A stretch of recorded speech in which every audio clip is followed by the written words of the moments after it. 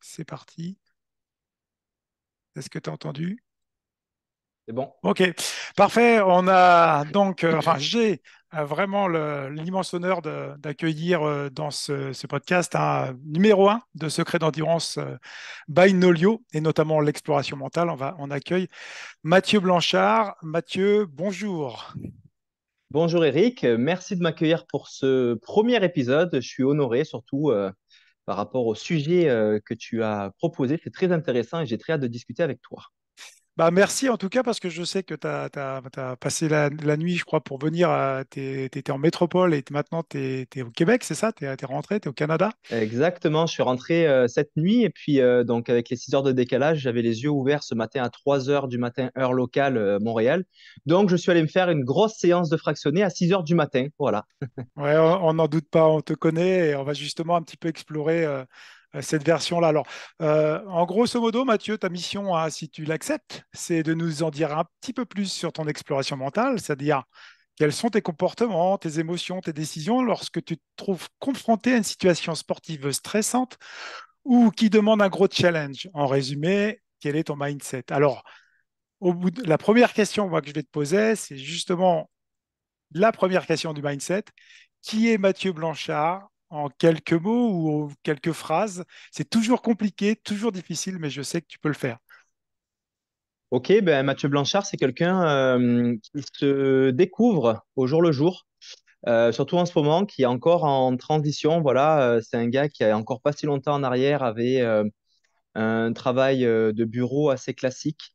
voilà, Mathieu, c'est quelqu'un qui a découvert la course à pied assez récemment et qui s'y passionne et euh, qui, est tellement passionné qu'a peut-être trouvé euh, les bonnes clés et les bonnes recettes pour euh, progresser assez vite à tel point qu'aujourd'hui, il en fait sa carrière. Voilà, donc aujourd'hui, je suis coureur professionnel de trail et plus particulièrement d'ultra trail, donc les très longues distances qui me passionnent le plus.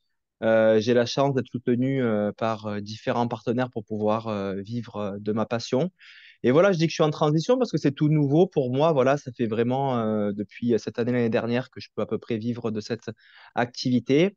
Et donc, j'en apprends encore euh, tous les jours. Voilà. Là, je reviens de France aussi parce que j'ai fait une tournée euh, d'un film d'aventure, d'une aventure que j'ai réalisé réalisée l'année dernière. Et donc, je peux dire aussi que j'ai une casquette d'aventurier. qui m'est chère parce que l'aventure, je pense que l'aventure et l'ultra trail, c'est quand même lié euh, c'est quand même, euh, voilà, il y, y, a des similitudes qu'on peut retrouver entre les deux. C'est pour ça que j'aime bien ça. Je fais de l'aventure aujourd'hui aussi parce que ça me permet de mettre le focus euh, ailleurs qu'uniquement sur la course à pied. On va en parler, mais c'est peut-être aussi quelque chose de mental que je fais par rapport à ça. Et aussi parce qu'aujourd'hui, ben, Mathieu a 35 ans. C'est un vieux jeune coureur, donc qui s'est voilà, je pense que j'ai la possibilité de faire de faire une carrière euh, encore euh, assez longue parce que on va dire que je suis pas usé là. J'ai commencé euh, le, trail il y, a, il y a cinq ans en arrière, mais c'est sûr que je vais pas avoir la capacité de courir aussi vite que ce que, que, que je fais aujourd'hui à, à peut-être 50 ans. Tu vois, je suis quand même réaliste par rapport au temps qui s'écoule.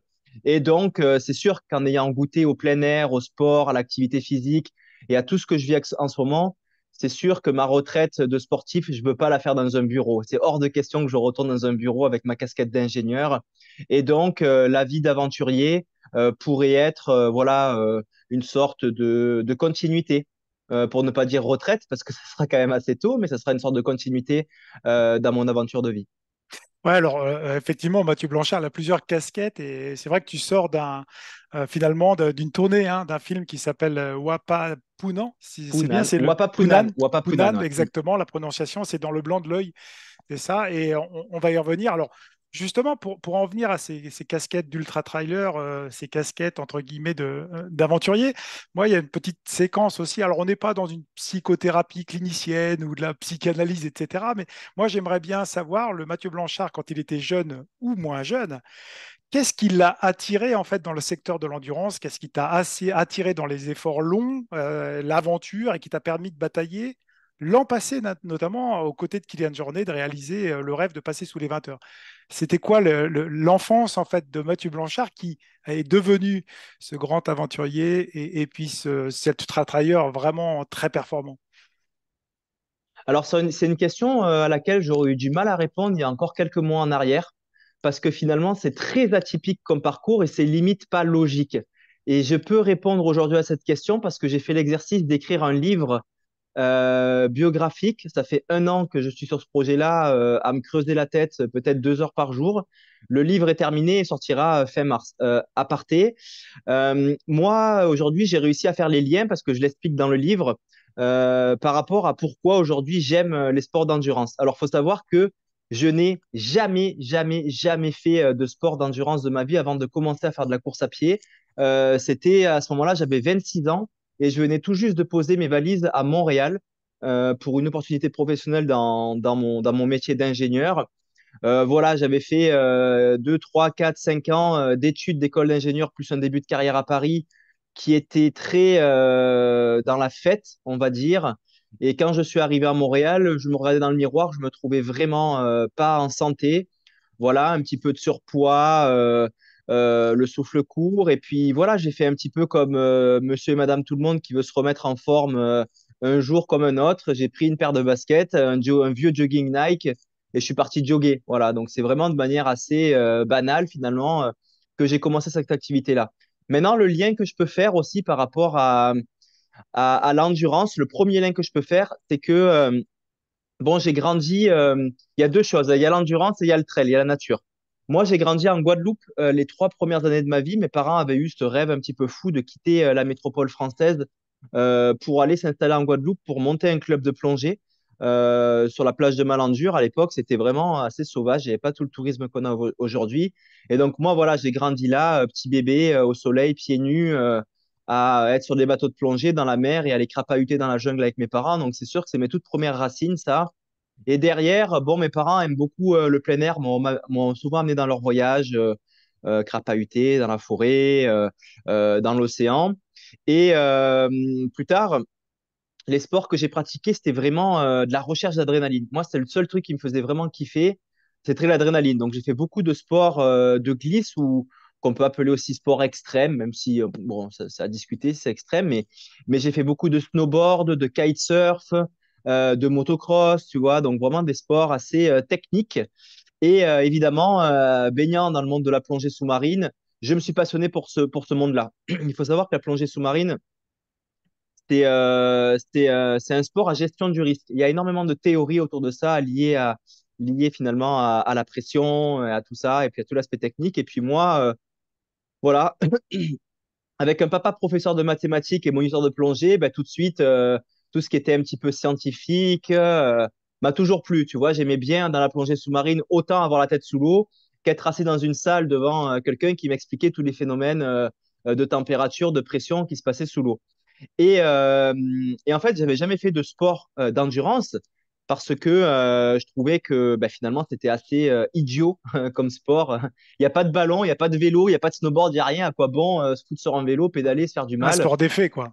Voilà. Et puis en effets, mais fait, pas de, de, de performance euh, réelle, Ouais, mais à ce moment-là, je je le savais pas, je le savais pas qu'on pouvait avoir des effets avec euh, d'autres hormones qui sont pas que l'adrénaline, hein, comme de Ouais. l'endorphine, euh, tout ça, qui existait. Pour moi, c'était juste de la douleur, ces sports-là. Je comprenais, je comprenais même pas l'intérêt de faire ça. Et finalement, euh, c'est le jour où, euh, voilà, quand je suis allé courir, tu vois, cette première fois à Montréal, qu'au bout de deux kilomètres, j'étais, j'étais le point de côté, je suis rentré à la maison, j'ai balancé mes chaussures et puis j'ai- mon ego a pris un coup, j'y suis retourné une deuxième fois, une troisième fois. Et éventuellement, en fait, un jour, je m'y suis intéressé et j'ai pris conscience que les sports d'endurance euh, revêtaient un aspect euh, technique très poussé. Et euh, c'est là, en fait, que j'ai accroché tout de suite. C'était le jour où j'ai compris ça, où l'optimisation du potentiel humain était finalement quelque chose de très scientifique et très technique, et qu'en plus, on pouvait être son propre banc d'essai, son propre tube à essai soi-même. Eh ben, en fait, j'ai, j'ai, ça a été un coup de foudre. Je me suis dit, je me suis, euh, je me suis passionné pour l'optimisa- pour l'optimisation du potentiel humain pour l'optimisation de mon potentiel. Et j'en ai fait une obsession. Voilà, j'ai 26 ans, je me mets à courir, je me mets à faire des sports d'endurance. Ok, euh, je vais prendre tous les bouquins, je vais étudier un petit peu cette science-là et voir ce que je peux faire sur moi. Mais tu as une formation d'ingénieur aussi, il hein, faut le dire aussi. C'est-à-dire qu'on euh, on, remet un peu les pièces de puzzle, mais on voit bien que le contact avec la nature, tu l'avais étant tout jeune. Tu as été confronté aussi à, la plongée, puisque tu es aussi moniteur de plongée. Euh, tu as exploré en fait déjà pas mal de choses, mais après, tu as, remis aussi ta formation d'ingénieur. Est-ce qu'elle a eu une influence aussi sur ta pratique? Oui, je pense, je pense, c'est sûr, parce que, parce que en gros, un ingénieur aujourd'hui, c'est quelqu'un. Euh, on t'apprend en fait toute la journée en école à te foutre, on te fout un problème devant et tu dois le résoudre avec des outils euh, qu'on t'apprend en école d'ingénieur. Alors après, dépendamment de ta, de ta spécialité, tu vas avoir des outils différents, différents mais moi, j'ai quand même choisi une filière assez généraliste. Et donc, l'idée, c'est ben, comment résoudre ce problème avec les outils euh, à disposition. Et c'est pour ça euh, que je me suis passionné pour la course à pied. Et je t'avouerai qu'au début, je ne connaissais absolument pas le sport, la course de trail. Je ne savais même pas que ça existait.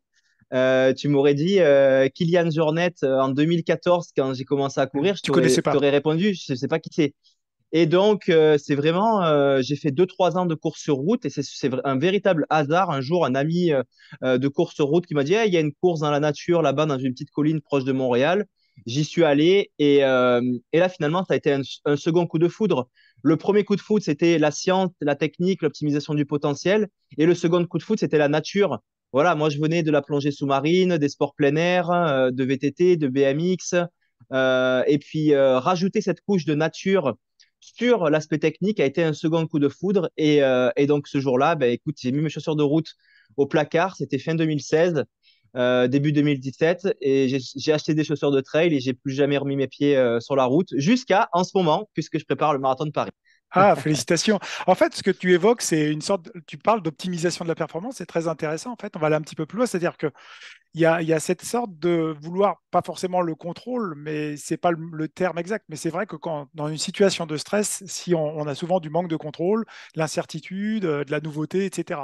Toi, ce que tu essayes de faire aussi, c'est justement d'apporter des éléments pour pas être dans cette zone de, stress. Au bout du compte, euh, là, on est confronté à la nature, on est confronté à des éléments d'incertitude quand on va sur l'ultra.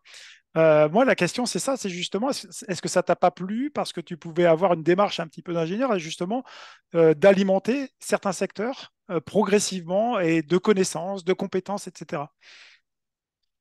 C'est intéressant le sujet de la perte de contrôle et d'ailleurs, je pense que c'est aussi une des raisons qui a fait que je me suis passionné plus pour la course en nature, la course de trail que la course sur route. La course sur route, on est quand même beaucoup dans le contrôle, on est capable de de, enfin, aujourd'hui, en tout cas, la philosophie que j'en vois, euh, qui est très différente de celle de la philosophie euh, de course de trail, c'est très contrôlé. Les entraînements, on parle de pace, on parle de durée euh, de séance dans des conditions assez carrées, dans des salles, sur des pistes, sur de la route. Et c'est intéressant, tout ce contrôle, mais il y a quelque chose que tu travailles pas, ou en tout cas moins, quand tu as le contrôle, c'est l'aspect mental. Euh, et ça, et ça j'ai beaucoup aimé quand j'ai découvert euh, le trail, c'est qu'il y a une certaine perte de contrôle. Et c'est aussi ce qu'on a aussi euh, dans le monde de l'aventure. On perd le contrôle, c'est une définition de l'aventure, c'est perdre le contrôle. Et c'est important de perdre le contrôle parce que c'est ce qui va finalement faire travailler ton mental. c'est ce qui va renforcer ton mental avec la capacité d'adaptation, avec voilà, avec des contraintes météorologiques, des contraintes de terrain qui font que ben, tu vas challenger ton mental. Et donc, pour moi, aujourd'hui, le mental, c'est un muscle. C'est pareil qu'un biceps, ça se muscle. Et, euh, et aujourd'hui, je suis vraiment de plus en plus dans une, euh, dans une optique qu'il euh, est plus important d'avoir un mental fort qu'un qu'un corps fort. L'analogie que je peux en faire, c'est comme un, un, ordinateur. En fait, tu as beau avoir des super cartes graphiques, des super écrans, des super ventilateurs pour refroidir tout ça si tu n'as pas un processeur euh, qui est au top, ben, en fait, tu ne peux pas utiliser, euh, utiliser ces, ces, ces, éléments-là. On parle euh, d'intelligence artificielle aussi maintenant, tu vois, sur le, le... mais en fait, notre cerveau est beaucoup plus élaboré encore. C'est ça que tu veux dire. Mais exactement. Et puis, je t'avouerai aussi que l'expérience, ma dernière expérience que j'ai eue à l'UTMB 2022, tu l'as évoqué avec, avec cette belle compétition, Moins de 20 heures, hein. pour ne pas dire combat avec, avec Kylian. Euh, j'ai vraiment ressenti, j'avais déjà ressenti ça de manière plus légère, mais euh, le mot que je vais utiliser, c'est transcendance. Alors là, on part vraiment dans quelque chose d'un peu d'ésotérique, je dirais. Hein. Je ne veux pas passer pour un chaman. Non, non, c'est mais, euh, mais vraiment, j'ai été capable de me mettre dans des dispositions physiques par une transcendance mentale. Je connais très bien cette course de l'UTMB parce que j'ai déjà couru trois fois. Le tour, le tour du, enfin, le, le, le, parcours, je l'ai fait euh, même à l'entraînement plusieurs fois. J'ai dû le faire six fois, le tour du Mont Blanc. Et je sais très bien comment mon corps réagit dans telle montée, telle descente. Et ce jour-là, j'étais partout au-dessus. J'étais partout au-dessus et parce que j'étais transcendé. Et puis même, ça m'inquiétait parce que euh, je m'inquiétais de me dire, mais comment ça se fait que j'ai des sensations comme ça?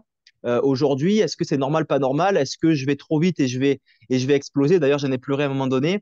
Mais tout ça pour dire qu'aujourd'hui, je suis vraiment dans une optique que la perte de contrôle est très importante et tous les autres, euh, les autres situations euh, qui renforcent le mental sont très importantes parce que quand on réussit à se transcender, on réussit à finalement aller chercher euh, des, des, des, forces insoupçonnées qu'on a dans le corps. Comme dans le cerveau, on a toujours dit, moi j'ai beaucoup lu euh, de, de, revues qui disent qu'on n'utilise qu'un certain pourcentage de notre capacité cérébrale. Mhm. Il y a Mais beaucoup on, de mythes et croyances aussi, hein, tu sais, bon, voilà, cerveau droit, cerveau gauche, tout ça, en fait. Exactement. Les, les et tout ça, oui. Mhm. Exactement. Et on en parle un petit peu moins pour le corps. Mhm. Euh, je trouve qu'on n'utilise peut-être pas toute euh, notre capacité physique parce qu'on n'a pas, on n'a pas les clés et les outils mentaux pour les débloquer.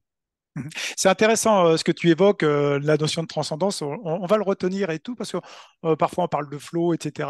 En fait, on remet des mots, parfois on réinvente des mots, mais finalement on revient toujours un petit peu à la même chose, c'est-à-dire qu'on est un être entier aussi avec un cerveau qui, qui, va prendre des décisions. On est des êtres mimétiques, sociaux, qui produisent des émotions. Il faut les comprendre et après on va prendre des décisions. Et ce que tu évoques dans cet état, c'est-à-dire que la transcendance, c'est d'être aligné sur tous ces éléments à un moment donné, euh, au bon moment, dans un contexte bien donné.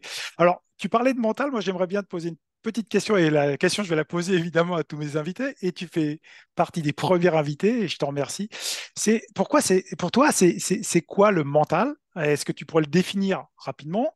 Et est-ce que tu as une, certaine expérience, mais tu viens de le, le souligner, euh, dans, dans ce domaine Écoute, euh, c'est une bonne question. Moi, je, je vais te, te répondre euh, avec, euh, ben, je veux dire, j'ai, j'ai jamais eu euh, de préparateur mental. J'ai jamais fait d'exercice de préparation mentale. Euh, je lis un petit peu par rapport à ça, mais euh, voilà, sans trop rentrer profondément. Moi, c'est vraiment, c'est sur de l'instinct et j'ai la chance de parfois de, de d'avoir le bon instinct ou en tout cas être dans les bons contextes pour, euh, pour optimiser mon, mental et éventuellement aller dans cette transcendance euh, qu'on a évoquée. Après, euh, c'est ça aussi mon travail aujourd'hui, c'est de trouver ben, quel a été ce contexte, quels ont été les éléments qui m'ont permis de me transcender parce que je les ai pas aujourd'hui et j'aimerais bien les avoir pour pouvoir me retransformer en super héros comme Sangoku le fait quand je le souhaite. Après, je me questionne aussi sur est-ce que cette, euh, ce moment de super-héros, il faudrait pas, faut pas l'utiliser trop souvent non plus, parce que c'est peut-être dangereux euh, pour euh, la santé physique. Il faut peut-être avoir que une, deux ou trois cartouches dans l'année, les utiliser qu'à ces moments-là, mais pas tout le temps parce que ça pourrait être dangereux.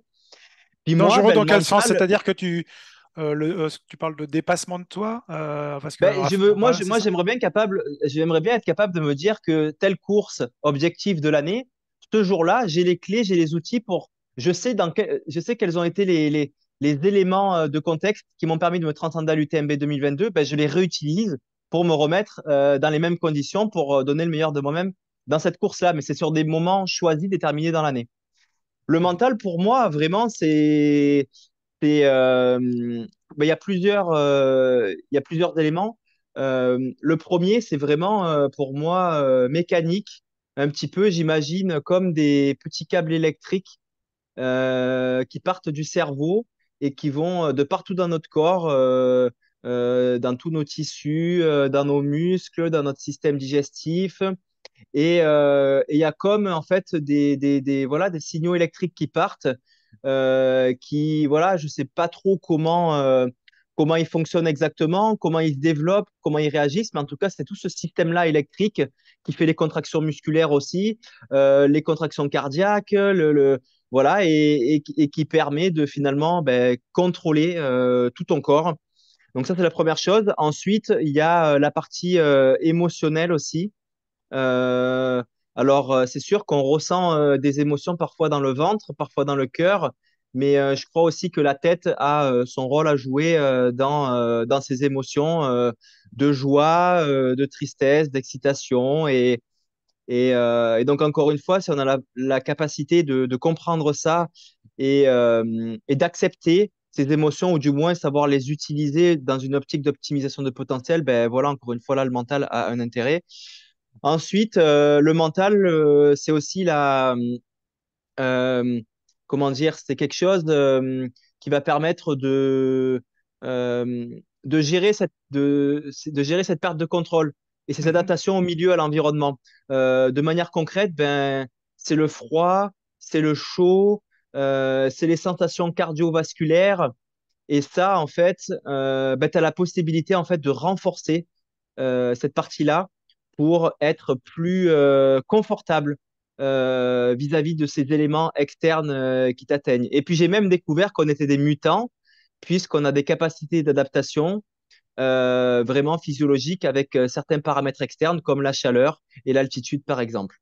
Ouais, c'est, ce qui est, intéressant, c'est que tu balayes pas mal de secteurs dans ta définition du mental qui est intéressante. Et, aussi, on voit que tu essayes de chercher à comprendre en fait, ce qui se passe aussi dans ton corps, dans ton cerveau, dans, voilà, dans tout l'organisme, puisqu'on est un individu unique.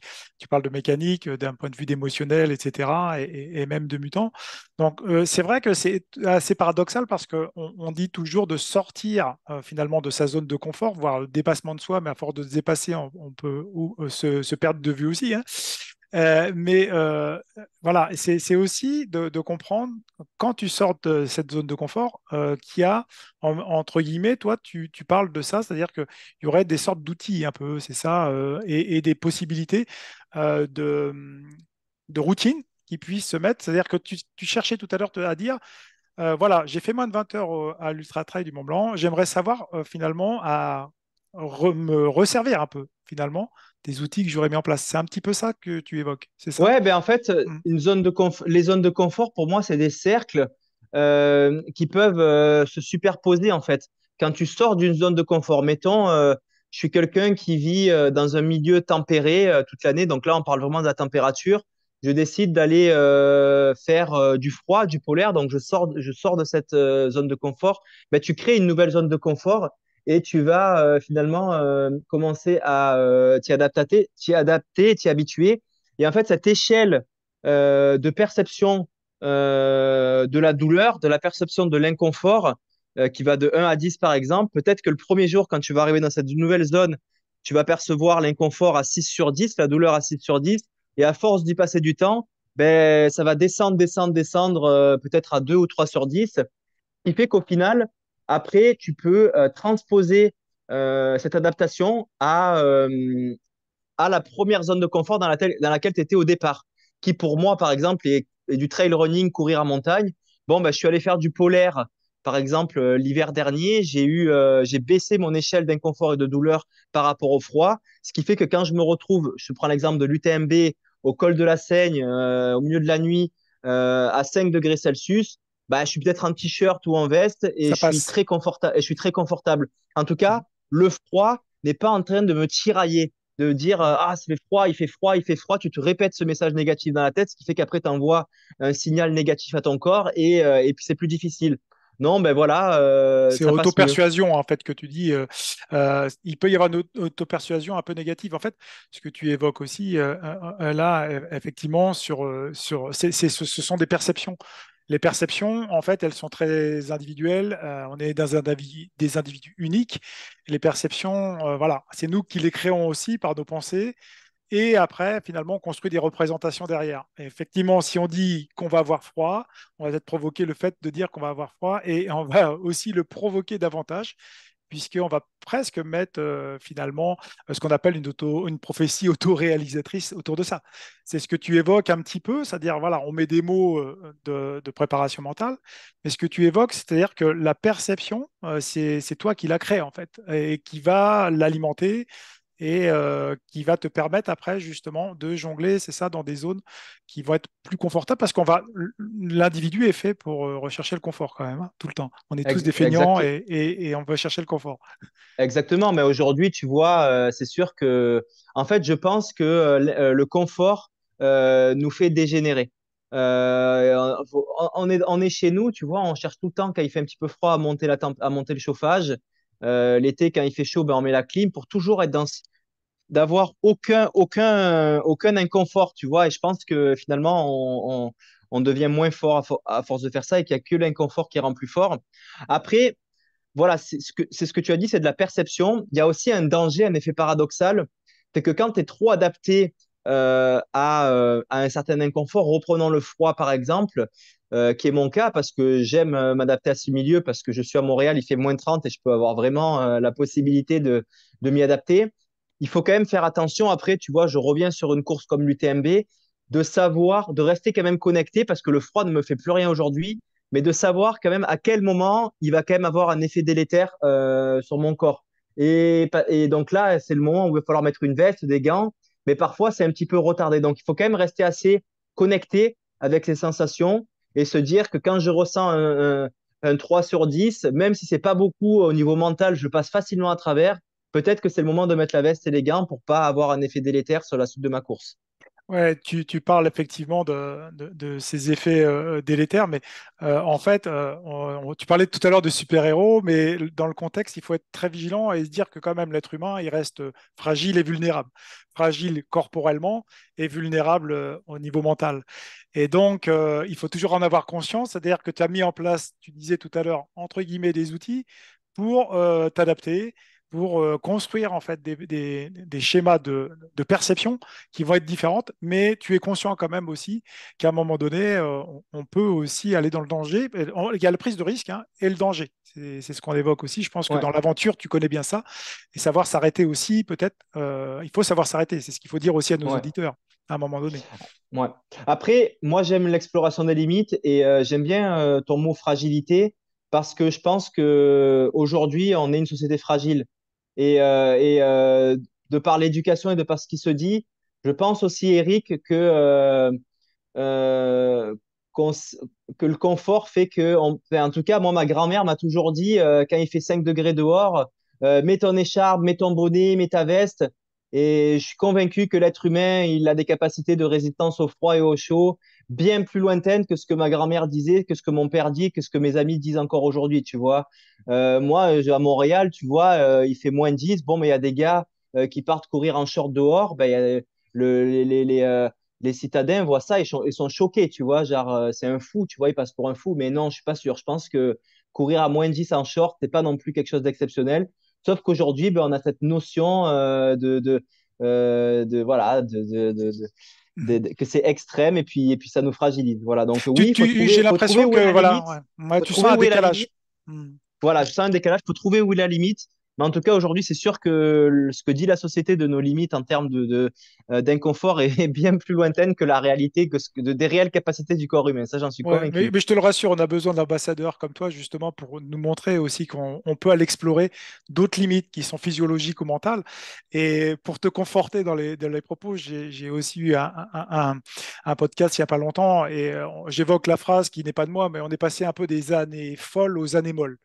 Et en fait, euh, encore plus dans la, société qu'on a vécue post-Covid, c'est-à-dire qu'on a tendance à rentrer chez soi et puis à, appuyer sur Netflix pour regarder des séries parce que c'est beaucoup plus confortable, c'est beaucoup plus difficile de sortir, euh, et on parle de zone de confort, encore faut-il pouvoir la définir, mais ce que tu évoques toi, c'est que tu vas vraiment explorer et que tu peux aussi donner envie euh, à des personnes justement d'aller explorer, c'est important, non? Ouais, c'est important parce que la notion de mutant euh, que j'ai évoquée tout à l'heure, en fait, c'est ça, c'est que il euh, n'y a pas que les mutants sur Netflix, on en est aussi parce qu'on s'adapte physiologiquement. Quand il fait chaud, tu as tes vaisseaux qui se dilatent, tu as ton débit sanguin qui augmente, tu as ta capacité d'utilisation euh, qui s'améliore. Quand, quand tu montes en altitude, tu as ton corps qui produit des globules rouges. Donc, on est réellement des mutants. Et puis, si on reste dans le confort toute la journée, ben, on n'active pas ces adaptations physiologiques-là. Et même, il y a aussi, moi, je m'intéresse aussi à la longévité. Tu vois, il y a des, il y a Peter Attia, là, des gars comme ça qui sont euh, super bons là-dedans. Et en gros, il t'explique que si tu restes dans le confort toute la journée, mais tu dégénères parce que tes cellules, en fait, elles dégénèrent et puis tu vas vieillir plus vite et tu vas avoir une espérance de vie beaucoup plus courte. Tandis que quand tu t'actives, que tu te mets dans l'inconfort, que tu actives toutes ces adaptations-là, ben, tu vas faire de la, de la régénérescence. Tes cellules vont se rajeunir, vont, vont être plus fortes et en gros, tu vas être, euh, tu vas voir. Donc lui, il parle de longévité, tu vois, de, de, mmh de, de, de devenir plus vieux, mais quand tu, remontes dans le temps, ben, c'est aussi au, moment présent. Tu as des cellules plus fortes, plus jeunes. Et, euh, voilà, pour moi aujourd'hui, euh, le confort, euh, trop, trop, trop abusé, est un mot et pas bon pour la santé. Ouais, c'est intéressant les, les, propos que tu évoques parce qu'en fait, on est dans, dans ce mouvement-là sans être dans le New Age euh, où, euh, si tu veux, on va aller euh, trouver des méthodes et on, enfin, on va dire que des fois, il faut, fuir les méthodes. Il y a pas mal de principes, mais de connaissances physiologiques. On va se baser aussi sur la science. Tu as la clinique du coureur, donc tu, tu sais comme moi qu'à un moment donné, il faut quand même aller vérifier un petit peu des faits scientifiques. Mais le corps, il est fait pour bouger. il est fait aussi, finalement, pour aller parfois dans des conditions extrêmes pour survivre. Par exemple, on a des mythes et croyances sur le CO2 dans la respiration. on a pas mal de mythes et croyances sur les lactates qui seraient des poisons. En fait, voilà, on commence maintenant avec la science et heureusement à démystifier un peu tout ça. Et ça, c'est aussi, je pense, un sujet qui te passionne pour justement ouvrir un peu des portes ouvertes et dire voilà, Mathieu Blanchard, regardez l'effet bonne 20 heures parce qu'il s'est intéressé aussi à l'extrême. C'est aussi ce chemin-là que tu prônes et que finalement tu fais très bien d'ailleurs. Ouais, ben écoute, je me sacrifie pour la société. Non, mais j'aime ça. j'aime ça aussi parce que, comme tu dis, je crois qu'aujourd'hui, dans la science de la physiologie du sport, de la course à pied, du trail, euh, il y a beaucoup de super études qui sont faites, mais je crois qu'il faut rester très, très, très humble euh, par rapport à ça. Et, et parce que dans dix ans, euh, ce qu'on dit aujourd'hui sera peut-être plus valable. Donc voilà, j'aime ça aussi, cette partie d'ouverture d'esprit. Et au final, tu vois, moi aujourd'hui, même, je fais confiance euh, aux scientifiques et aux coachs qui sont capables de dire bon ben la science dit ça aujourd'hui mais moi je suis pas convaincu je suis pas sûr que ce soit ça plutôt que le gars qui dit euh, je suis sûr que c'est comme ça. Tu vois ceux qui n'ont pas une ouverture d'esprit et une humilité j'ai un petit peu du mal euh, du mal à les croire. Et puis moi ce que j'aime bien aussi faire Eric il y a la science mais ce que j'adore faire aussi c'est fermer les yeux et, et remonter dans le temps. C'est vraiment quelque chose quand je me pose des questions c'est j'essaye d'imaginer euh, nos ancêtres euh, qui, euh, qui, de, qui, vivaient de la chasse, de la cueillette et qui vivaient dans des grottes, ben, dans quelles circonstances hivernales ils étaient, dans quelles circonstances d'été ils étaient, comment ils se déplaçaient, comment ils fonctionnaient. le jeûne, ils étaient parfois, ben, ils n'arrivaient pas à chasser comme les animaux, ils pouvaient rester 4, 5, 6 jours sans manger, puis ils activaient ils activaient leur, euh, leur lipolyse avec un regain d'énergie pour pouvoir chasser l'animal au moment où il passe devant. Euh, il faisait très froid pareil. Et puis tout ça, tout ça, j'aime bien aussi euh, essayer d'imaginer qu'est-ce qu'on était capable de faire euh, avant, ce qui me donne aussi des réponses en fait que je que j'ajoute à ce que la science dit aujourd'hui. Tu, veux dire que tu t'intéresses aussi un peu à l'anthropologie, euh, c'est-à-dire que nos ancêtres aussi, euh, on parle d'évolution, mais finalement, est-ce que c'est pas un mot galvaudé? Parce que est-ce qu'on a vraiment évolué? Euh, Parce qu'on avait des, bah, ancêtres qui étaient très costauds, c'est ce que tu veux dire. mais sur une échelle de temps, c'est pas si loin quand même. Oui, c'est vrai. Mais ça veut dire aussi qu'on y a, on a évolué dans la science et qu'on est capable maintenant euh, de, mourir à 80 ans en mauvaise santé. Hein. c'est qu'on est capable, justement grâce euh, aux médicaments, aux soins, etc. Mais on n'est pas forcément en très bonne santé, c'est ce que tu évoques. Et en fait, les modèles que tu, que tu évoques aussi là sont très intéressants, c'est-à-dire qu'on peut vieillir et rester en bonne santé. C'est ça Ouais, ça m'est déjà arrivé de me faire doubler euh, sur une course où j'allais vraiment pas par quelqu'un, par un gars de 70 ans, donc euh, sur un, ultra de plus de 100 bornes. Donc ouais, j'ai des exemples. Euh, ouais, c'est possible à 80 ans d'être au top de sa forme, mais je pense qu'il faut pas commencer à se poser des questions sur se mettre dans l'inconfort, faire de l'activité physique, connecter au monde naturel à 70 parce que c'est un peu trop tard, quoi. C'est le plus tôt qu'il faut le faire. Ouais, alors justement, qu'est-ce qu'on pourrait dire un peu à nos auditeurs, euh, quelques petites routines, parce que alors on entend souvent parler, alors les bains froids, la méthode Wim Hof, euh, euh, la respiration, voilà, il y, a beaucoup de hacks entre guillemets, mais qu'est-ce qu'on pourrait justement proposer à, nos auditeurs, justement pour continuer dans ce sens-là? Est-ce que c'est un côté mental, c'est-à-dire une vraie réflexion par rapport à soi-même? Est-ce qu'il y a des choses qui fonctionnent? Je pense qu'avant le mental, il euh, faut d'abord euh, casser la, sédentarité qui est vraiment euh, le, le, pire dans la société actuelle. Donc, s'activer physiquement, tu l'as dit, on est fait pour bouger. notre corps et c'est notre identité corporelle. Il n'est pas fait pour être arrêté. Aujourd'hui, moi, j'hallucine quand je vois un train de vie plutôt classique, le nombre d'heures qu'on passe assis dans une journée. Euh, c'est le petit déjeuner le matin, c'est le transport en commun ou la voiture, c'est le bureau, c'est le lunch, c'est le rebureau après-midi, c'est la revoiture, retransport en commun au retour, c'est le goûter, c'est le repas et c'est la télé ou le livre assis. Donc, euh, c'est vraiment, euh, c'est vraiment fou le nombre de temps qu'on passe assis. Après, on se couche. Donc, déjà, s'accorder du temps pour s'activer physiquement, peu importe dans le sport, mais bouger. Bouger, c'est vraiment euh, la, la base. Et ensuite, la seconde couche, la seconde couche que je rajoute, ben, c'est la connexion au monde naturel, à la nature. Pour moi, c'est, c'est vital. Euh, je veux pas encore euh, paraître pour un sorcier, mais on a des sens euh, d'odorat, de vue, de toucher, de d'ouïe que voilà, les, les, les... quand on active ces sens-là dans le monde naturel avec les odeurs, les couleurs qu'on voit, le petit bruit des oiseaux, ben ça, ça, ça, ça crée des, des, connexions dans le cerveau qui sont euh, bonnes euh, pour la santé euh, physique et mentale. Et après, ben, la dernière couche, si on veut aller un petit peu plus loin pour vraiment devenir plus fort, ben, c'est la couche mentale. Et pour ça, pour la travailler, ben, en- l'activité physique et la connexion à la, à la nature, faut l'amener dans des limites de grand inconfort. Voilà. Donc, ça Euh, peut être des bains glacés, la chaleur, euh, euh, faire des entraînements euh, de fractionnés en sport d'endurance, par exemple, pour faire, pour se mettre dans un inconfort cardiovasculaire, euh, peu importe. hein, mais en gros, c'est s'amener dans des, dans des limites d'inconfort un petit peu plus poussées euh, que la simple activité physique ou la simple marche en nature. Ouais, ce que tu évoques, en fait, aussi, euh, tout le cerveau commande. hein. C'est-à-dire, pour aller bouger, euh, il faut quand même que ton cerveau puisse prendre la décision. Euh, et prendre une décision, ça veut dire qu'il faut aussi gérer pas mal de choses et au quotidien, des perceptions qu'on a. Euh, on est quand même aussi dans une société qui prône ça. C'est-à-dire que, on le disait tout à l'heure, on peut mourir à 80 ans parce qu'on peut nous apporter tout à la maison. Euh, on peut commander euh, n'importe quoi à, à l'heure qu'on veut et rester assis. Donc, euh, ce que tu évoques, c'est très très important, ce, ce côté de, de- de sortir et de bouger. Après, les bureaux, on commence à voir un petit peu hein, des, des walk desks ou des, des- des bureaux debout. Euh, les gens commencent, certaines personnes, il y a une fracture quand même, on va dire peut-être sportive, hein. il y a une C'est des sportive. marginaux qui font ça aujourd'hui bureau, exactement. Mais justement, debout. tu fais partie d'un modèle qui n'est pas Mm, marginal et, et pas tant que mm. ça, puisque c'est important aussi euh, là, dans ces discussions. Et ça fait partie aussi de, de- de cet aspect mental parce qu'en en fait, on va changer aussi des routines. Et ce qu'il faut dire aux gens, c'est qu'on parlait du- du- de la fragilité, mais le côté antifragile, c'est de ne pas en faire euh, une tonne tous les jours, mais de se remettre euh, même cinq minutes euh, par jour à bouger ou à se mettre debout, etc. C'est déjà aussi des petites choses, c'est ça, hein, donc, qui, qui sont Clairement, ouais, vaut mieux, vaut mieux faire cinq minutes que rien faire. Et tu vois, moi, je suis coach en course à pied aujourd'hui.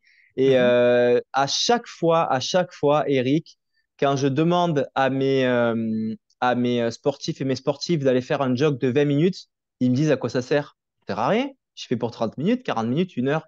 Sortir un jog pour 20 minutes, ça sert à rien. Donc, il y a vraiment un travail d'éducation à faire et pour expliquer que ben, 20 sortir 20 minutes, ça compte aussi hein, sur en course à pied, en l'occurrence, hein, quand on fait 180 pas par minute, ben, ça fait quand même quelques coups euh, euh, sous les pieds. Et il y a aussi euh, ce travail d'éducation à faire sur, sur le fait que l'activité physique renforce et ne fragilise pas. Moi, je, le nombre de personnes, si tu savais, Eric, que je rencontre encore aujourd'hui, qui me disent, tu fais de la course à pied, tu t'uses les genoux, c'est mieux de rester dans son canapé parce que tu protèges tes genoux.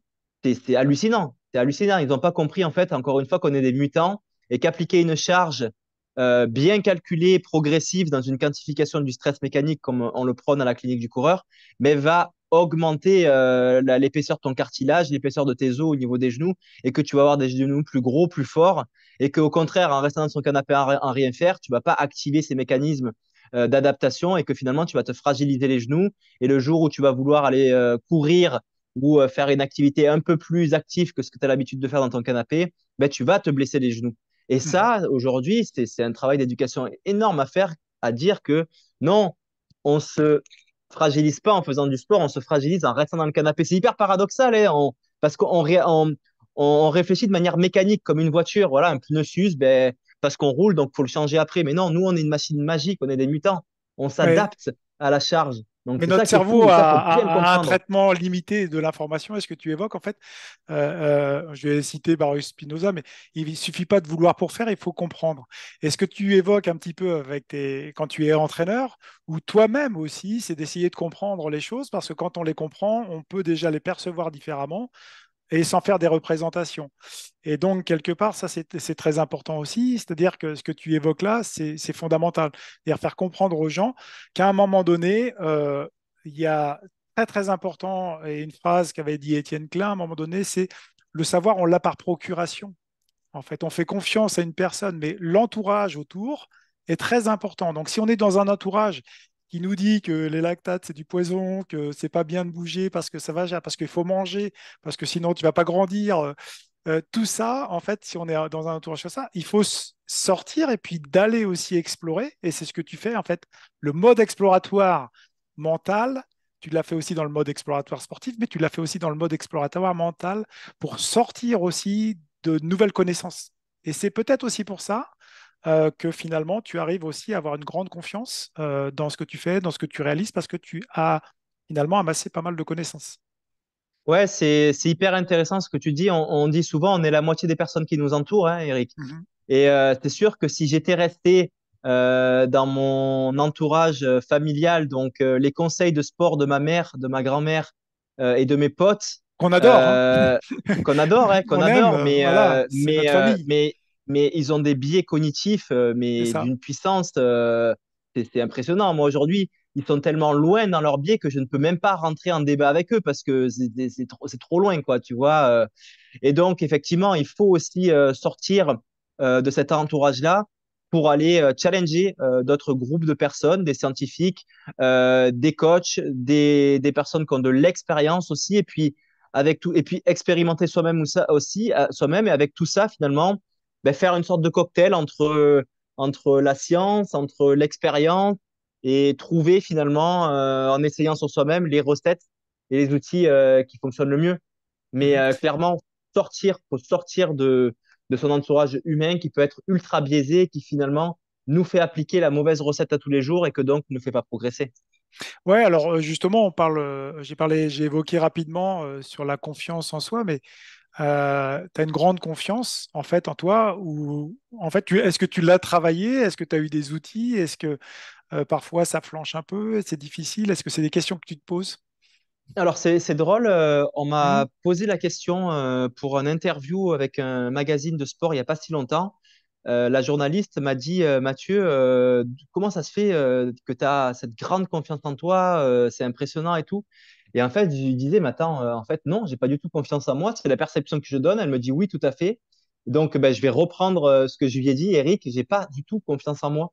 Mhm. Euh, en fait, c'est pas que j'ai pas du tout confiance en moi, mais aujourd'hui, en tout cas, j'ai des éléments de vie dans mes courses qui me font dire que que j'ai pas encore vraiment le plein potentiel de la confiance et ça me pèse d'ailleurs, ça me pèse d'ailleurs mentalement.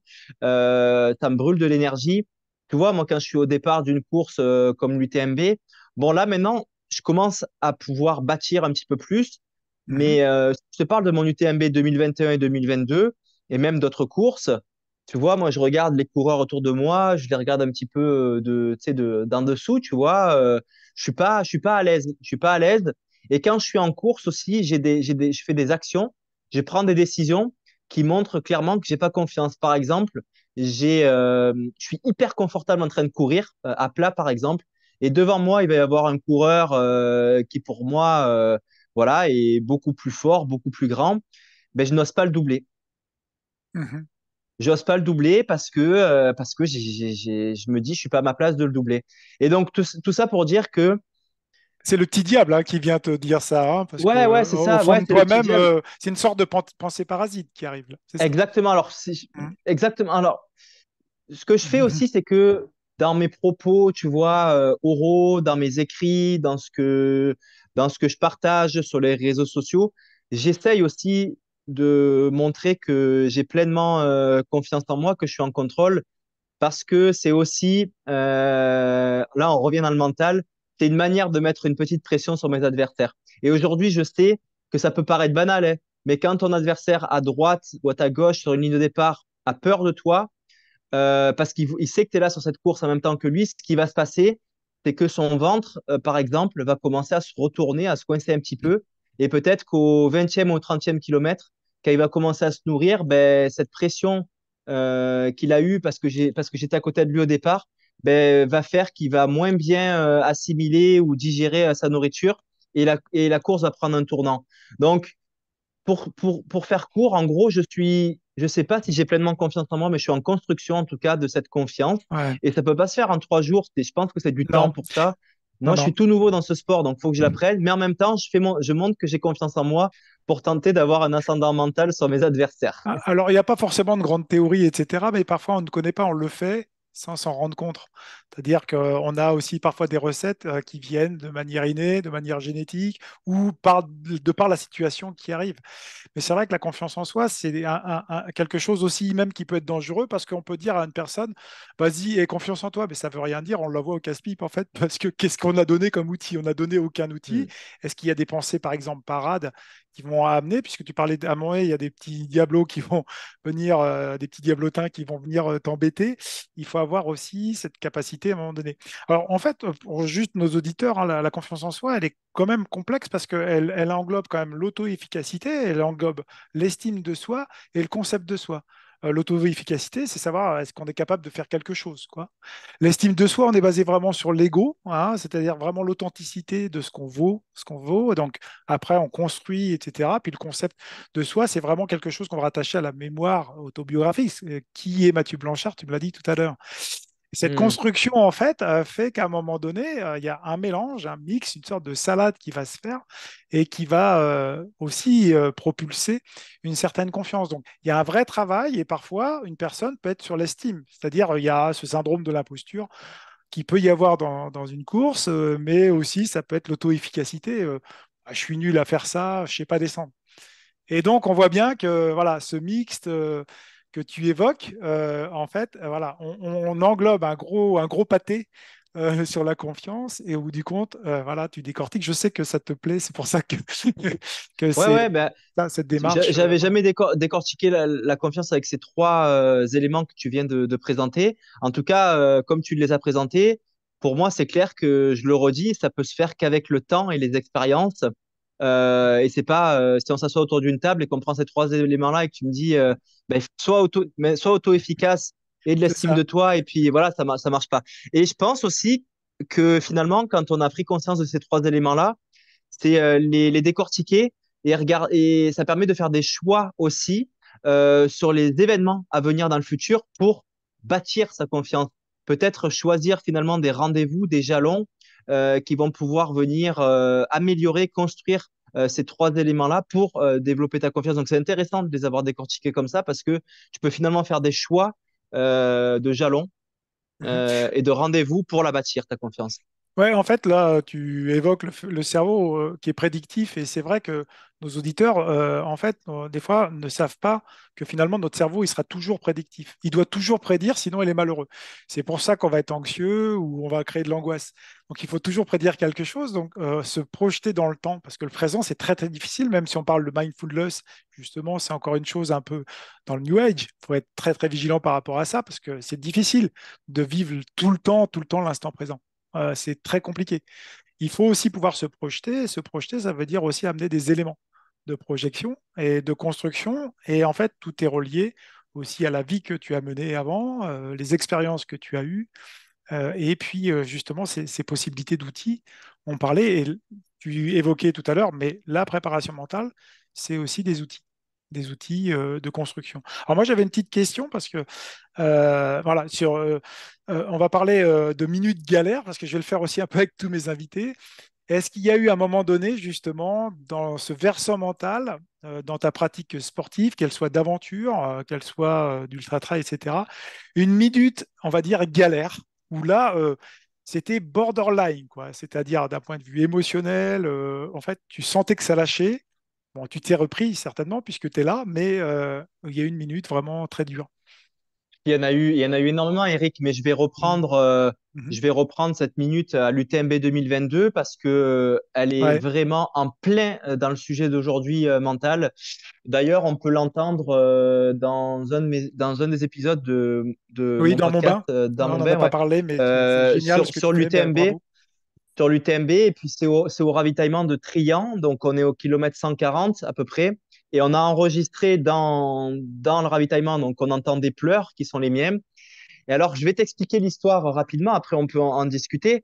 Euh, c'est que j'ai pleuré. Donc, j'étais quand même beaucoup de perte de lucidité, tout ça. Après la course, des journalistes sont venus me voir, m'ont posé la question, Mathieu, pourquoi tu as pleuré euh, euh, dans ce ravitaillement-là? Et tout de suite, ce que j'ai répondu, parce que j'avais plus de souvenirs, j'étais blackout, c'est j'ai pleuré parce que j'avais hyper mal aux jambes, j'avais hyper mal aux quads parce que je suis descendu trop vite euh, de la descente avant Trian pour tenter de rattraper Kylian et j'avais trop mal à mon corps.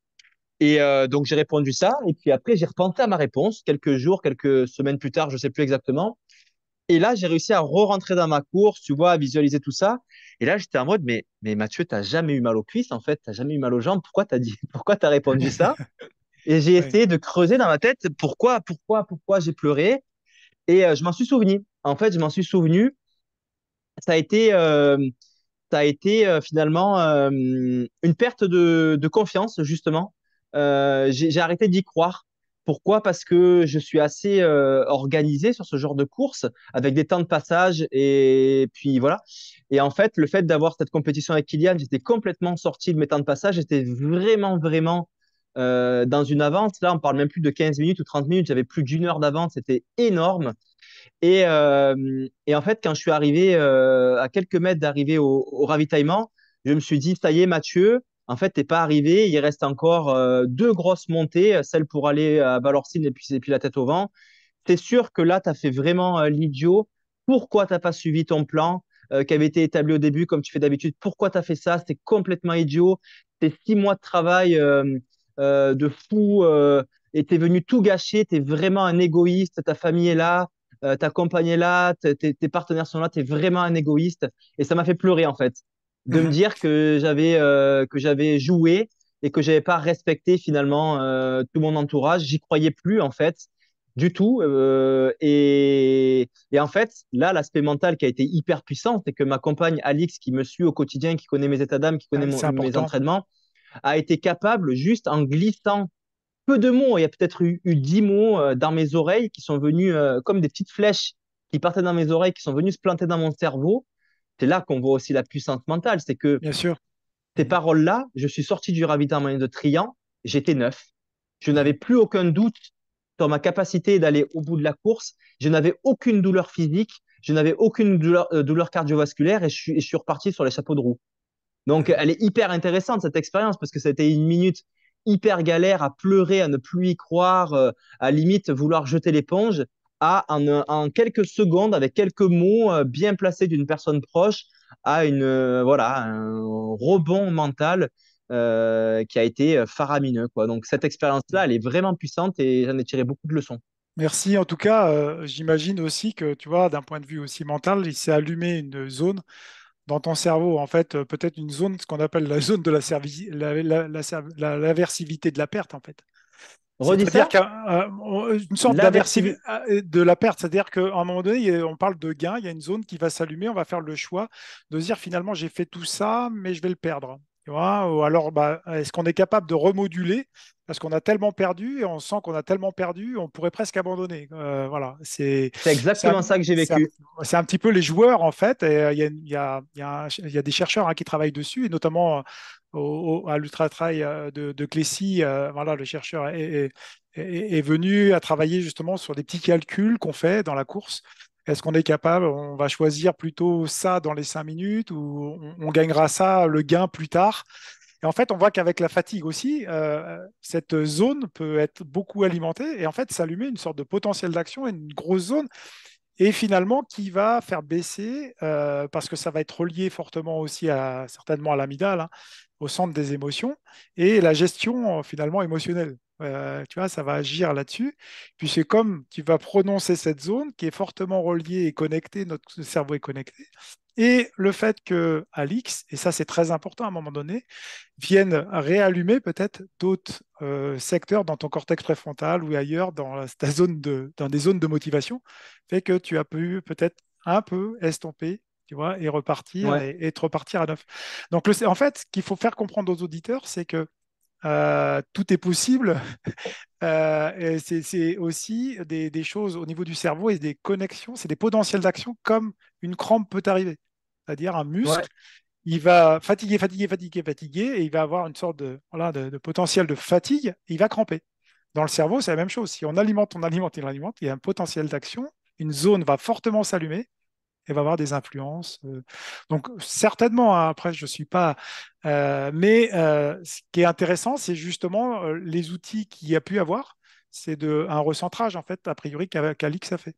C'est ça, non? Ouais, ben c'est très intéressant de l'avoir vécu, cette expérience-là, parce que moi, je ne l'avais jamais eu avant. Et maintenant que j'en suis conscient, c'est un, un, nouvel outil avec lequel je peux jouer. En fait, je l'avais déjà vu, je pense, Eric, et puis les auditeurs l'ont déjà sûrement vu. Hein. il suffit d'avoir regardé un match de foot un match de tennis ou un match, de boxe, combien de fois on voit euh, qu'une équipe se fait littéralement défoncer? Euh, Voilà, ils vont au vestiaire où le coach sur le bord du ring dit quelques mots dans l'oreille ou dans les vestiaires du tennis, le gars ou l'équipe ils reviennent et reprennent l'ascendant sur euh, sur l'adversaire alors que alors que dans la première partie c'était tout le contraire. C'est juste avec des mots qui ont été glissés dans les oreilles dans la, dans la mi-temps quoi. C'est fou. Ah ouais, c'est ça, c'est le, le, côté aversivité de la base, c'est-à-dire qu'on peut avoir un côté aversif et provoquer en fait des hormones qui ne sont pas forcément euh, bonnes, euh, enfin les noradrénaline, cortisol, etc., qui vont aussi alimenter une version émotionnelle pas, pas, terrible. Où on peut aller alimenter un côté plutôt attractif, hein, c'est-à-dire le côté d'Alix, c'est peut-être le côté de l'ocytocine, c'est-à-dire tu as reproduit tu le lien euh, d'amour est, très important. Après, tu as reboosté la dopamine tu vois, et puis la sérotonine aussi, parce que la sérotonine, c'est dit, je suis pas une merde, quoi. Tu vois, enfin, on hmm. repart, on repart. Je suis pas là pour, euh, pour aller acheter du terrain, comme on dit, ou, ou cueillir euh, des fleurs, euh, voilà. Donc, en gros, il faut être un petit peu chimiste et avoir des et avoir des chimistes autour de nous pour pouvoir déclencher ces mécanismes. De, Ouais, non, je pense que c'est pas de forcément les chimistes, parce que euh, la chimie, en fait, les, processus hormonaux ou les neurotransmetteurs ou neuroinhibiteurs, en fait, sont des réactions d'abord par nos pensées. Oui, mais oui, mais ce que je veux dire, c'est qu'un chimiste qui active la pensée pour déclencher ces. ces, ouais, en fait, c'est ce qui est important, c'est justement la pensée qui va déclencher le, côté euh, chimique de, hormonal euh, ou neurotransmetteur. Et puis aussi, il y a des systèmes d'inhibition qu'on peut avoir. Donc, en fait, de dire aussi à, nos auditeurs que c'est complexe et le cerveau, euh, tout ce qui est neurosciences, etc., on, en apprend un peu euh, chaque jour et on voit aussi ce développement. On commence un petit peu à expliquer certains comportements ou certaines choses. Après, il faut être prudent, comme on disait tout à l'heure, il faut chercher à comprendre et qu'on ne peut pas tout expliquer non plus parce qu'on n'a pas d'IRM fonctionnel à disposition euh, au col de la Seigne ou pour dire. Non, mais déjà, déjà rien que Ouais, déjà, rien que de prendre un petit peu de recul et d'être conscient qu'il y a des choses qui se passent, c'est important. De pas juste de toujours faire des courses, des entraînements sans vraiment euh, analyser ce qui s'est passé, mais déjà être conscient qu'il y a quelque chose qui s'est passé avec euh, ces actions-là, c'est déjà euh, un grand pas de fait. Et voilà, peut-être après, si on trouve les outils, les éléments pour reproduire, pour reproduire ça pour, dans, dans, une optique de positivisme pour, pour nos événements, c'est encore mieux, mais en tout cas, d'être conscient de ça, c'est déjà, je pense, un grand pas en avant. En tout cas, merci euh, de tes réponses pour l'exploration mentale. Je sais que ton, temps est compté. J'ai encore deux petites questions. Euh, notamment une question, est-ce que les, clés de la réussite mentale, à ton avis, alors on va parler de la définition du mental, etc., mais les clés, est-ce qu'il y en a euh, de la réussite mentale pour, nos auditeurs? Et pas forcément donner les recettes, mais les clés euh, on a évoqué tout à l'heure se bouger, etc. Mais est-ce qu'il y a des clés euh, pour réussir? Parce que tu, fais partie du, modèle Il y en a plein des clés. Ben, on va redire ce qu'on a dit déjà tout à l'heure, c'est se renforcer le mental en se mettant dans, des inconforts. Moi, par exemple, aussi, tu sais, mon, expédition polaire que j'ai faite en février dernier, euh, c'était aussi dans une optique de renforcement mental. parce qu'en fait, c'est sûr que l'ultra trail, je fais des gros entraînements encore aujourd'hui qui font parfois 5, 6, 10 heures en montagne.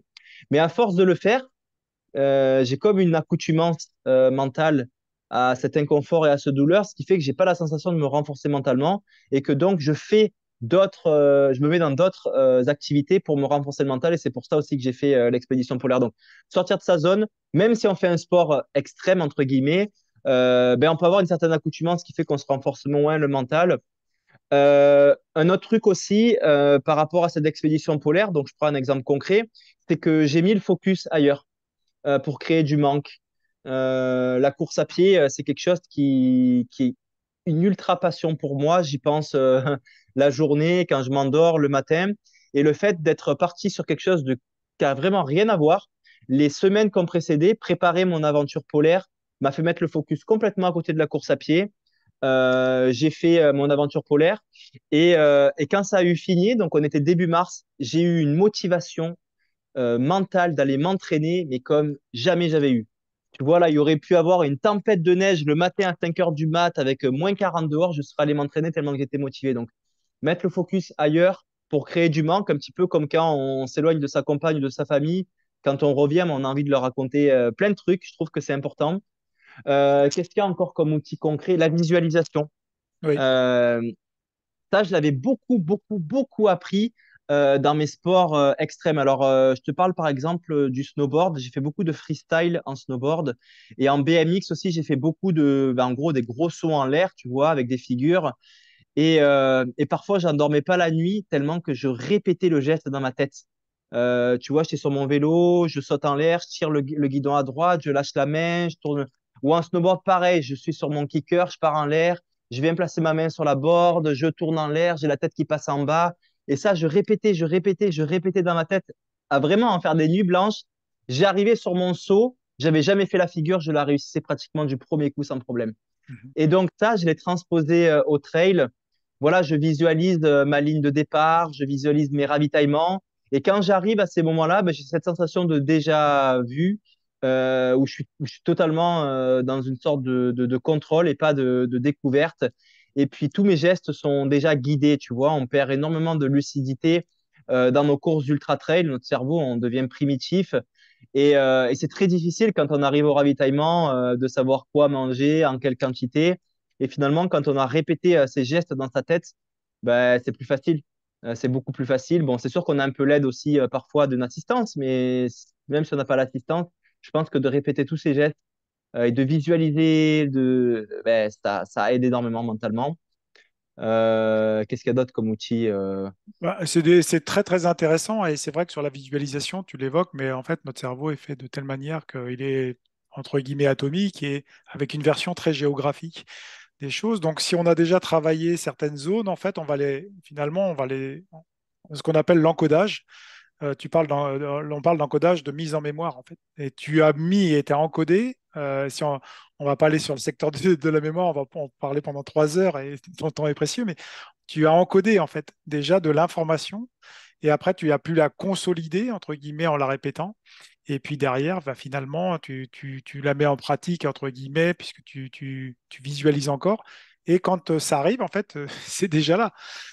Ouais. Euh, et, et- et aussi, euh, le versant de la visualisation, c'est aussi la, la façon de, de se mettre aussi en situation de réussite, au bout du compte, de, de- de réaliser ce qu'on a envie de réaliser. Donc, on est sur le désir aussi, tu vois, d'un point de vue philosophique. Tu parlais aussi tout à l'heure du, focus, euh, deux, deux Ouais, autres trucs que je me rappelais, que Oui, je me rappelais, Eric, je te les lance juste comme ça.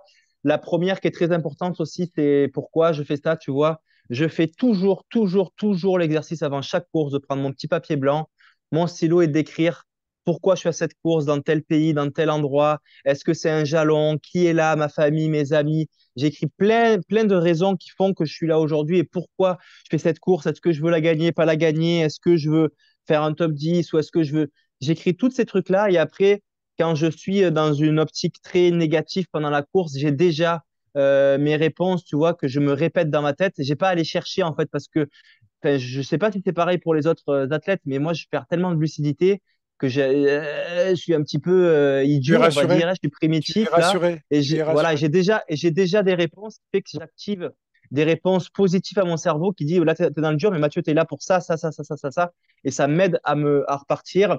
Et le dernier truc aussi euh, qui m'est venu comme ça pendant que tu parlais, c'était cette capacité finalement à aussi ne plus penser au mental et s'éteindre mentalement. Et ça, c'est une capacité que j'ai aujourd'hui, que quand je cours, de réussir à faire comme on fait en méditation, c'est-à-dire se, se concentrer sur une seule chose. En méditation, c'est sur la respiration. Mais moi, quand je cours, c'est une pierre là, je mets mon pied là, une racine là, je mets mon pied là, ainsi de suite. Et quand je commence à divaguer, à partir, oui, je pense à mon resto, machin, nana, hop, je reviens tout de suite sur ma pierre et ma racine. pour finalement essayer d'éteindre mon cerveau parce que je sais euh, qu'il est euh, ultra consommateur d'énergie et le rendre euh, vraiment primitif me permet d'économiser de l'énergie. Alors, je ne sais pas si on est dans le cerveau là ou dans le mental, mais en tout cas, c'est quelque chose on est dans les deux, en fait. Le, qui marche très, bien sur le cerveau, le, cerveau et le mental sont deux choses importantes. Tu viens de l'évoquer. Le cerveau consomme aussi beaucoup d'énergie, notamment quand il est dans des pensées.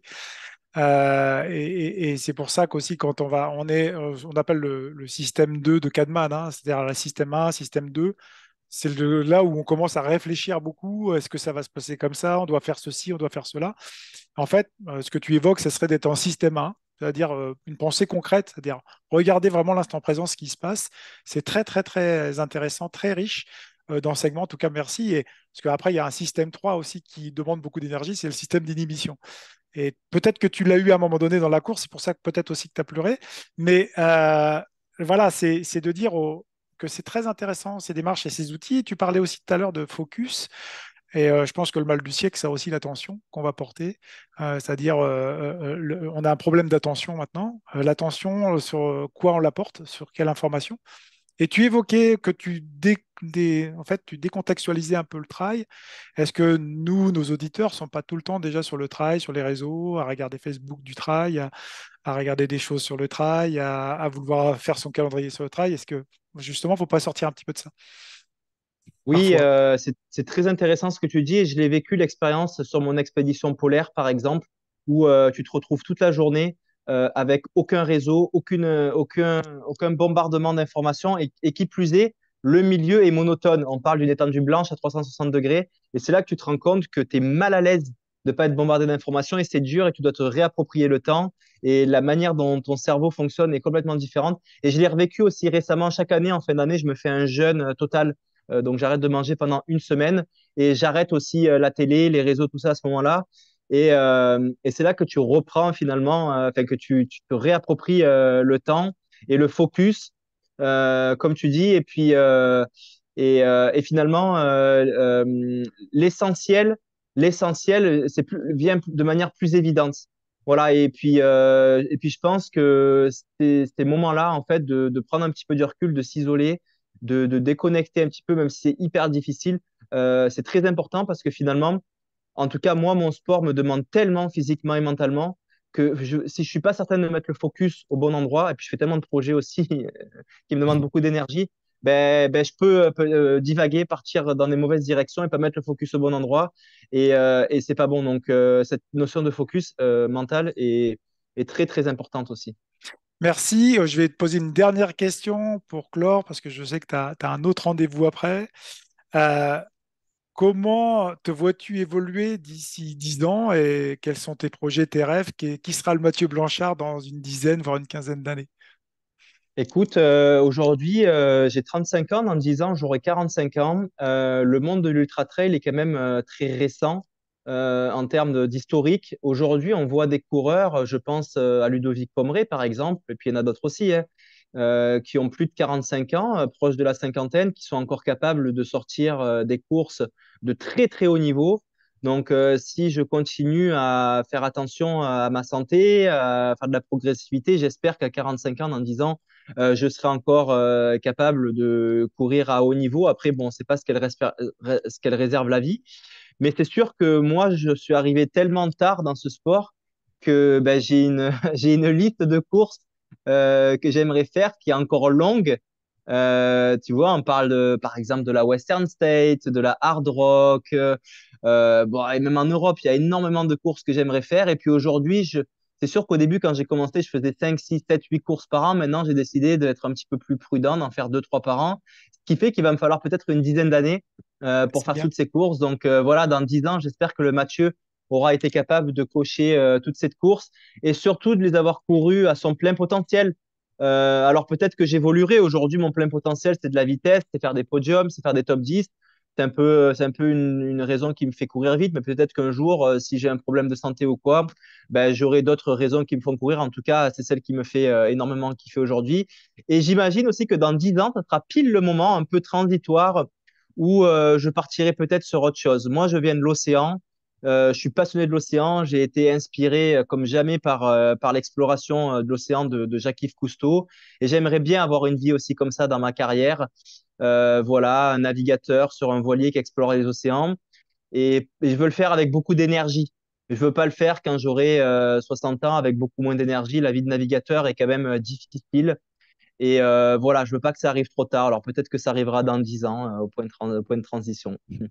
En tout cas, euh, on, te souhaite de réaliser tes rêves, de réaliser tes, jolis projets. je voulais vraiment te remercier hein, au nom de la communauté, puis moi-même, hein, d'avoir pris ce temps d'échange, d'avoir amené peut-être des nouvelles, des nouvelles idées, des nouveaux concepts, en tout cas au moins des réflexions. Euh, j'espère que nos auditeurs ont compris qu'il fallait pas vouloir pour faire et qu'il fallait comprendre. Merci beaucoup, euh, Mathieu. Euh, je te souhaite une super saison 2023. Peut-être d'autres choses à ajouter? sinon, voilà, on te laisse aller sur tes prochains rendez-vous. Non, mais gros merci de m'avoir invité aujourd'hui, Eric. C'est un sujet qui est passionnant, le mental. Et puis voilà, j'ai été content de donner un petit peu euh, ma manière de voir les choses qui est plutôt là pour le coup basée plus sur de l'expérience que sur de la science, même si j'ai lu euh, quelques textes. Est-ce que, est-ce que ce que je fais c'est bien ou pas bien? En tout cas, c'est de l'instinct et puis j'ai au moins cette, cette ce courage d'expérimenter, d'essayer. Et puis écoute, euh, il y a parfois des courses qui fonctionnent, donc j'ose espérer que peut-être que des recettes que j'applique sont pas si mauvaises que ça.